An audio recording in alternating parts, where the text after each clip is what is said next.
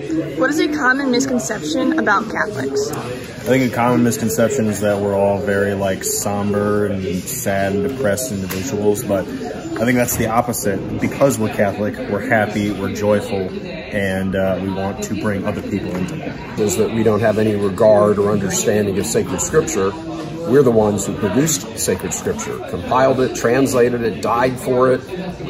We wrote the Bible. They believe that we worship Mary. Probably that the Pope is like our God or something like that. People don't really understand. That we worship Mary, which of course is patently untrue. We don't worship Mary, we honor Mary, we give her um, veneration, we give her hyperdulia, which is the, the highest form of veneration. We venerate the saints, um, something like we venerate our parents. Uh, we recognize that they're in heaven, and we give Mary the most extended version of this, which is hyperdulia, because she brought us Jesus.